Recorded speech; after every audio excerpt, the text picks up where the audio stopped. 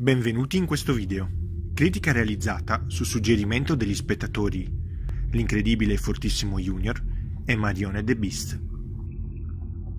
Questa critica è resa possibile grazie al patrocinio di Allevamenti Aia. Dove c'è Aia, c'è dolore. Oggi parleremo di una specie altamente diffusa nel mondo, con capacità cognitive sottovalutate dalla maggior parte della popolazione globale senza un reale motivo. Prego tutti coloro che amano mangiare grano di non sentirsi in competizione con questo animale. Iniziamo!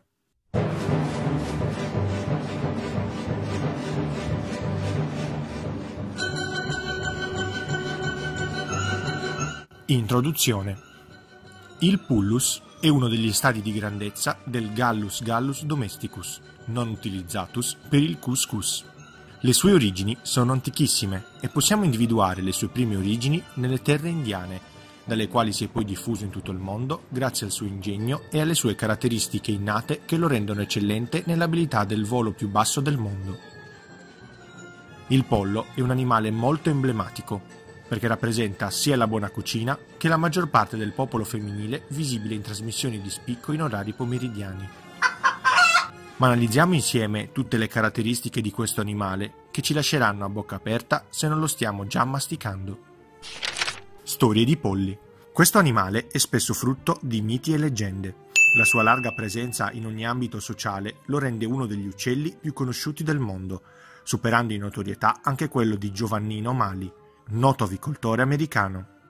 Storie tramandate da secoli raccontano della sua capacità di salvaguardia del pianeta, grazie alla trasmissione di malattie contagiose che determinano cambiamenti radicali che deviano le menti di gruppi di esseri viventi rendendoli infestanti, come gli spettatori dei me contro te. Un esempio di queste epidemie è la nota aviaria, che ha indotto molte persone a volare con la fantasia diventando piloti di aerei nelle loro case attraverso l'imposizione verso i propri figli di cibo con una forchetta. La storia più emozionante del mondo dei polli è sicuramente quella che riguarda il pollo senza testa. Si narra infatti di un pollo innamorato che ha vissuto per 18 mesi senza possedere la testa, alimentato da un umano benevolo che voleva ucciderlo poco prima. Aveva perso la testa a causa di una sensuale gallina, che dopo vari corteggiamenti svolti senza successo si è rivelata essere solo un'oca. Lotte sociali. Il pollo si è sempre prodigato per il benessere della società nel quale viveva.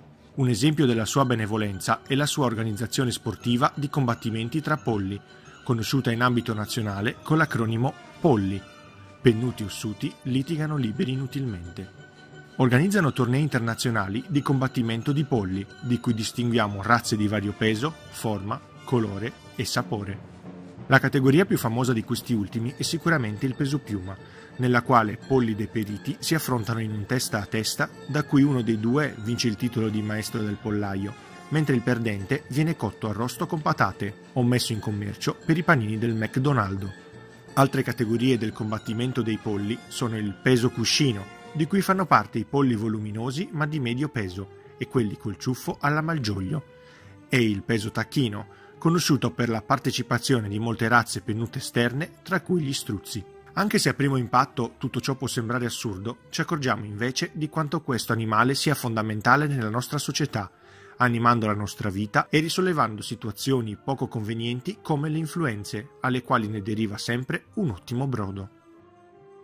E dopo questa descrizione dei fatti più importanti del pollo, non ci rimane che un'ultima domanda. È nato prima l'uovo o il pollo?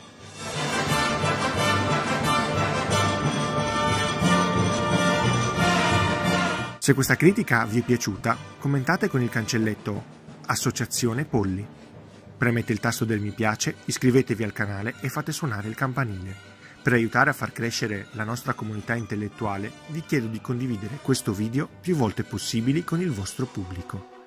Inoltre, dopo aver visto i miei riferimenti in descrizione, suggeritemi la prossima critica qui sotto nei commenti.